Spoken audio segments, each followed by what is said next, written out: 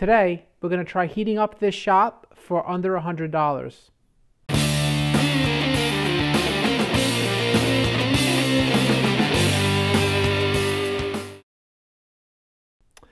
Before we get started, I just want you to know that I'm not sponsoring this company or any company in this video.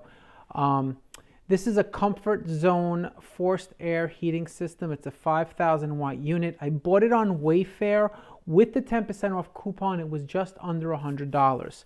Um, the size of the shop is 18 by 20 um, with about a nine and a half foot ceiling. My goal in this video is not to show you how to install this unit. There are other people on YouTube that do that.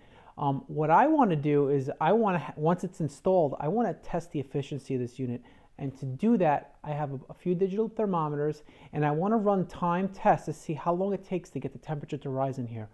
If the temperature rises to a point where it's comfortable in here, then I guess I got a great deal on this unit. If it doesn't, well then I guess at least I tried.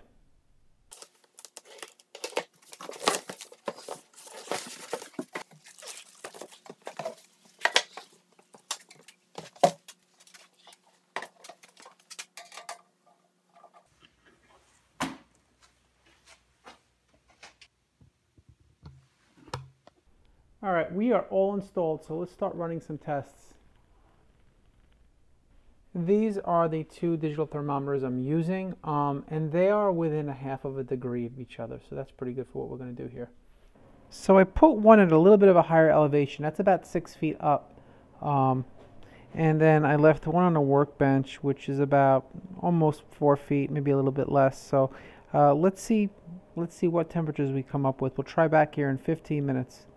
So we are at the opposite corner of the garage and 15 minutes later and we increased about two degrees um, from what we had 15 minutes ago and this is at the lower elevation at about four feet.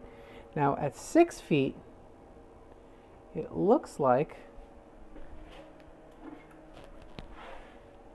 we've improved about seven and a half almost 8 degrees. So let's see how much further we get in the next 15 minutes. All right, another 15 minutes has gone by, so a total of 30 minutes later, and we're at 54 degrees. So we've gone up almost 5 degrees on the lower, lower elevated one. We're at 63 degrees exactly, so that's pretty good.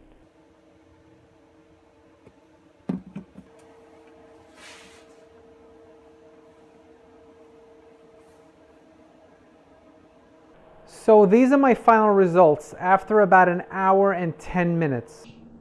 What is the verdict then? Well, from here up, it's pretty comfortable. From the waist down, it's a little chilly. And partially to blame is the fact that I don't have an insulated garage door and, I, and one of the exterior walls is not insulated. So that definitely is a factor. Um, overall, it's not a bad unit. The only thing I wasn't expecting is it, it does take a little bit longer than I thought to heat this room up. I would say it took about a good hour to get it comfortable in here. Um, but I spent under $100 and it's going to get the job done and it's going to make my work in here in the winter uh, less painful. Um, if you were expecting to uh, warm, this, warm your workspace up as if you were inside your home, this is not the unit for you. I would definitely would, would spend more money, buy something bigger, more powerful. But if you're on a budget like I am and you're patient enough to wait around for an hour until it's, it, it's good to go and, and, you're comfortable, then I think you'll be happy with this. I hope you like this video. Um, if you're interested in like woodworking and DIY stuff, I have a lot of other videos on my channel. Um, feel free to check them out. And if you like them, please subscribe. Hit the bell icon and you'll be notified when I post new videos. Thanks again and have a great day.